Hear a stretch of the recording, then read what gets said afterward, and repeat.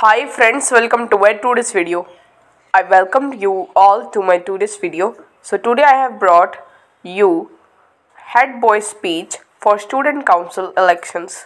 Okay so friends, let's start. Good morning everyone.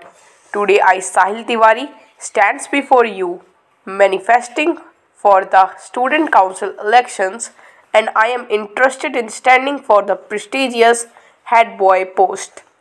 I want to be the head boy because I think I have all the qualities that are needed for the post.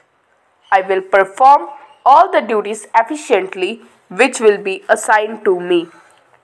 I will try to make sure that the students remain in discipline and follow the school rules. I will help my teachers in various activities. I promise to solve each and every problem related to co-curricular sports, and academics. I think that head boy isn't just a flaunting designation, rather it's a responsibility which I feel that can be performed by me diligently. I will surely listen to my schoolmates' problem and try to solve them. I believe that with my experience, I could be a great leader.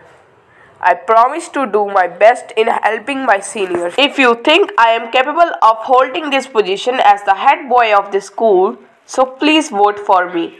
Thank you. Have a nice day. If you all liked my speech, so please subscribe to my channel and like this video. Thank you.